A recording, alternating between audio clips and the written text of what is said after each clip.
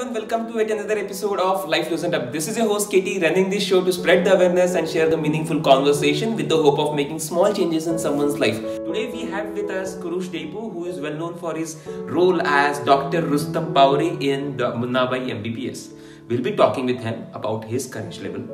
Number two, life before Munnabai MBBS and life after Munnabai MBBS. And third, he had some issues with his Parsi accent we will let's find out how did he master uh, the difficulties and also thanks to Mufazzal Shakir sir for connecting me to Kurush Debu sir Kurush Debu sir welcome to our show Life Loosened Up how is it going क्या लग रहा है कैसा चल रहा है everything is good ऊपर वाले की दुआ से सर वो पहले दो लाइन से इंटरव्यू शुरू करते हैं क्या हाँ हाँ ज़रूर करें uh, मेरी फ़ेमस uh, टकिया कलाम लाइन थी मुन्ना भाई एमबीबीएस में how would I know sir How would I know, sir? How would I know, sir? How would I know, sir? और मेरा पप्पा का लाइन जो सबको फ़ेमस है कैरम रमवानो जूस पीवानो मज्जा नहीं लाए रानी तो Pani. Pani. Very good, sir. Papani. Awesome. Thank you so much for saying that. Do saying those lines for me, sir. Uh, straight up to my first question, it's pretty much heavy. So your dad, who was an assistant director uh, to the company, but after several hardships, he left Mumbai and returned to his native place. So you have seen this failure. So from where did you get this, you know, gut of being an actor? Because I'll tell you this, I'm a soft, I'm into software industry. If I have seen someone failing in that industry, I would not, you know, get into that industry.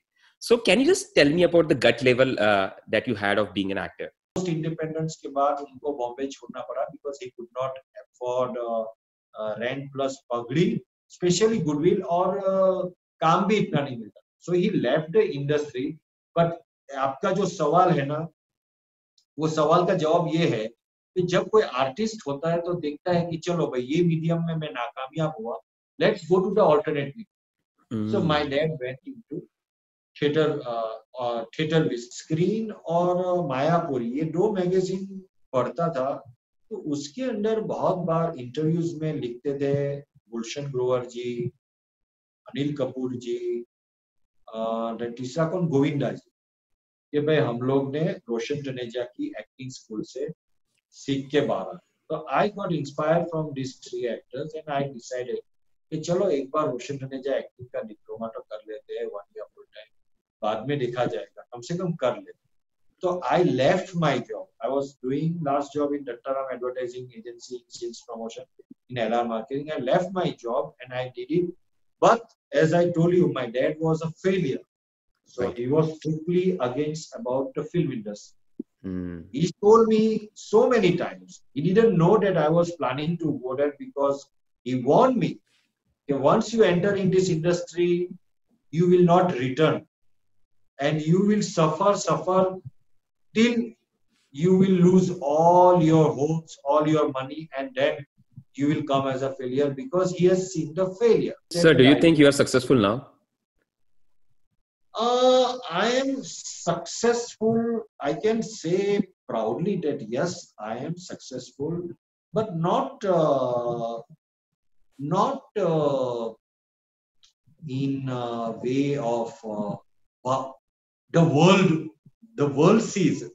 i'm right. talking about myself i believe myself yes i'm successful i have contributed my acting performance in film industry i have some benchmarks in my films as performance. I was nominated for Best Actor National Award in my first film Percy. Mamuti won award. ये है कि आपकी life क्या थी पहले MBBS और after after MBBS तो मुन्ना में एमबीबीएस का ऑडिशन देने के बाद जब फ़िल्म बन रही थी तो आइडिया तो था कि देखो स्क्रिप्ट इतनी मास्टरफुल है डायरेक्टर भी बहुत पावरफुल है तो ये फ़िल्म कामयाब तो लेकिन हर फ़िल्म मेरी कामयाब हुई ली जंकार बिक्स कामयाब हुई कसूर कामयाब हुई लेकिन कुछ फ़ायदा नहीं हुआ तो मैंने ऐसी उम्मीद लगाकर नहीं बैठा हम्म। कि ये फ़िल्म के बाद मुझे बहुत काम मिलेगा मुझे बहुत पॉपुलरिटी मिलेगी बिल्कुल नहीं। इतनी सारी सीरियल्स में भी कुछ पॉपुलरिटी मिली नहीं सब कुछ देख लिया मुझे एक बार राजकुमार हिरानी बैठे थे हम लोग डबिंग के लिए कुछ इंतज़ार कर रहे थे was busy in some editing also. So he told me, पुरुष ये फ़िल्म रिलीज़ हो गए इसके बाद तुझे बहुत काम किया सर ये ये ये तो मैं कभी हाँ कभी ना के टाइम से सुनता आ रहा हूँ लेकिन आप बोल रहे हैं ना कि अभी आपको सक्सेस लग रहा है कि अभी भी आप स्ट्रगल कर रहे हैं तो let me tell you the मैं अभी भी स्ट्रगल कर रहा हूँ लेकिन अभी जो स्ट्रगल है वो अलग स्ट्रगल है। अच्छा। अभी स्ट्रगल है अच्छे रोल पाने की। Now my aim is to get good author back roles कि जैसे मुन्ना में एमबीबीएस में मैंने एक अचीवमेंट किया वैसे ही ऑथर बैक्स रोल मुझे मिले और हम्म। मैं उसमें एक स्टेपिंग स्टोन करूँ। तो शायद लोग डॉक्टर रुस्तम पावरी की जगह पुरुष देबू से मुझे पहचान। Exactly exactly. कि आपका पारसी एक्सेंट के चलते कुछ प्रॉब्लम्स हुए थे राइट आपके स्पीच लेवल में तो आपने वो मास्टर कैसे किया डिफिकल्टीज मैंने मैंने देखिए ये क्या होता था? कुछ एक्टर्स ऐसे होते हैं कि वो हर एक एक्शन के ऊपर प्रभुत्व पा लेते हैं राइट right.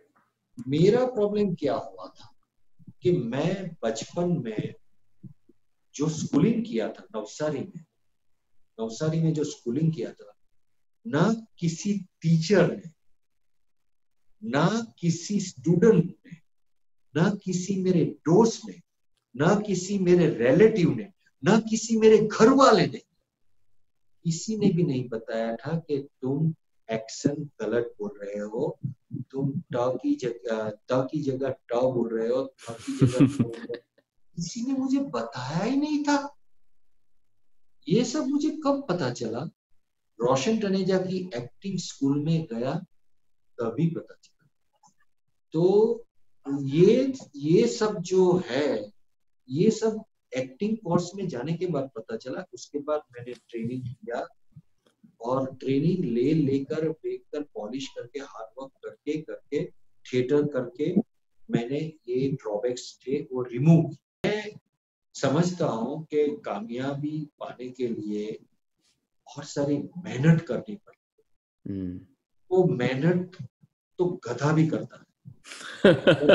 जो होती है वो इंटेलिजेंट करती तो क्या होता है कि आपके पास पाँच ऐसी चीज़ होनी चाहिए जो आपको एक रोड मैप कामयाबी के रोड मैप पे मोटिवेट करेगा जैसे एक मोटिवेशनल स्पीकर होता है right. अगर आपको कामयाब होता है होना है hmm. तो आपके लिए क्या करना चाहिए तो फ़र्स्ट ऑफ़ ऑल आपके पास टैलेंट होना बहुत ज़रूरी है hmm. अगर आपके पास रॉ टैलेंट है तो आपको उसको पॉलिश करना पड़ेगा टैलेंट के बाद आपको एक्सपीरियंस लेना पड़ेगा।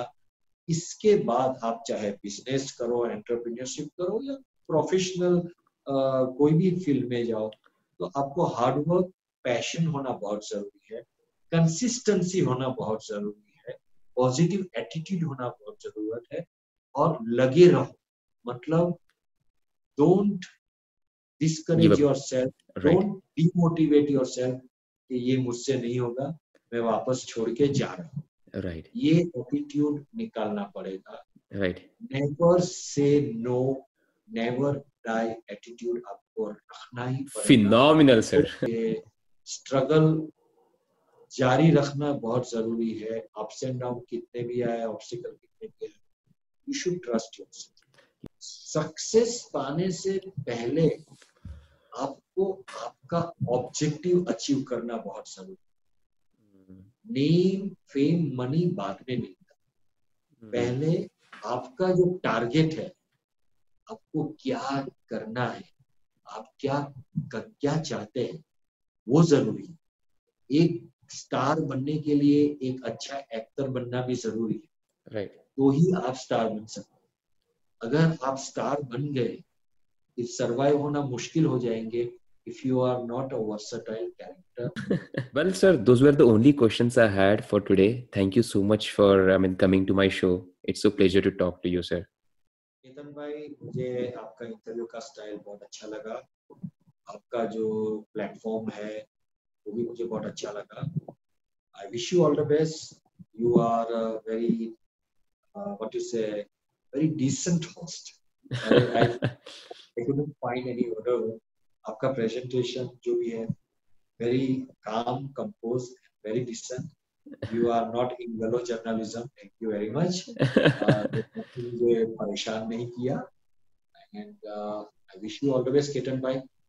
कि आप भी अच्छा सा प्रोग्रेस करें और मेन स्ट्रीम मीडिया में आप एक बड़े एंकर बन जाए definitely sir good luck to you as well